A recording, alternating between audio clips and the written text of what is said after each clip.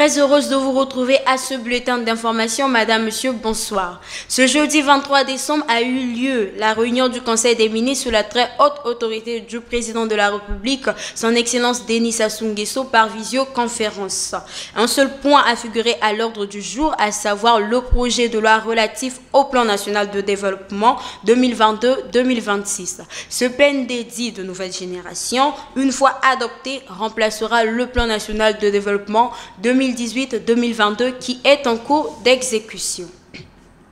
Le ministre de la Santé et de la Population, Gilbert Mokoki, a inauguré ce mercredi 22 décembre à Brazzaville un nouveau dispositif de dépistage du coronavirus au laboratoire national de santé publique situé à côté de la Banque de développement des États de l'Afrique centrale. Ce dispositif est le fruit du partenariat entre le Congo et la firme Enverg. Et c'est en présence de Sami Djoula, directeur scientifique de cette firme et du personnel de cette institution, que Gilbert Mokoki qui a coupé le ruban symbolique marquant l'ouverture officielle de ce nouveau laboratoire. Le ministère de la Jeunesse et le Programme des Nations Unies pour le Développement ont fait la restitution ce 22 décembre à Brazzaville du quatrième sommet Youth Connect Africa 2021 tenu à Accra au Ghana en octobre dernier. Une initiative pour laquelle le Congo doit capitaliser les acquis afin de garantir l'insertion socio-économique et l'autonomisation des jeunes. Lancé depuis 2016 par le PNUD et le gouvernement rwandais, Youth Connect Africa est une plateforme réunissant de nombreux partenaires dans le but de contribuer à l'autonomisation des jeunes dans les domaines socio-économiques bien ciblés, en leur fournissant des compétences, des réseaux et informations nécessaires pour un développement des initiatives personnelles en faveur de la création d'emplois. L'immobilisation des 37 étudiants congolais relevant du ministère de l'enseignement technique et professionnel au Maroc fait désormais partie des événements passés. Leurs souffrances ont été abrégées par le ministre de tutelle, Ghislain Thierry Maguessa Ebomé, qui a déployé récemment son génie de manager lors de son séjour au royaume chérifère. Ses compatriotes ont regagné Brazzaville ce 22 décembre via l'aéroport international de Maya Maya où ils se sont entretenus avec le ministre en présence de leurs parents. En culture, dans le cadre de la 13e édition du festival Cinéma sous les étoiles qui se déroulera l'année prochaine, le comité de sélection de l'événement a lancé un appel à court métrage à l'endroit des cinéastes du monde entier. L'envoi des œuvres se fait depuis le 15 décembre et se clôturera le 15 février 2022.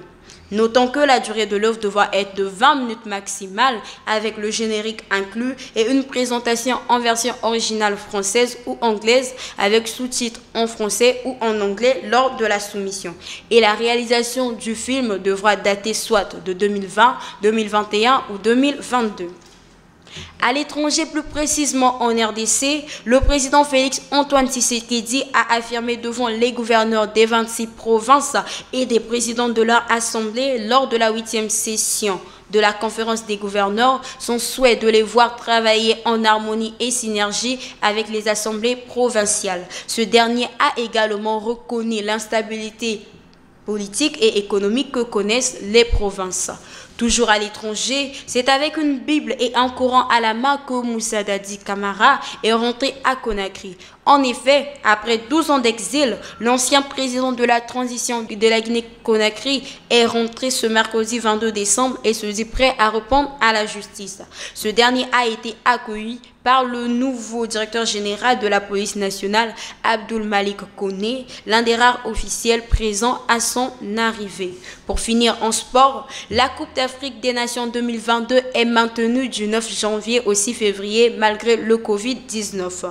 Patrice Motsepe, patron de la Confédération africaine de football, a levé les doutes le mardi 21 décembre en assurant que la compétition phare du continent aurait bien lieu à la date prévue. Je viendrai voir le 9 janvier le match d'ouverture entre le Cameroun et le Burkina Faso, a-t-il déclaré à la presse.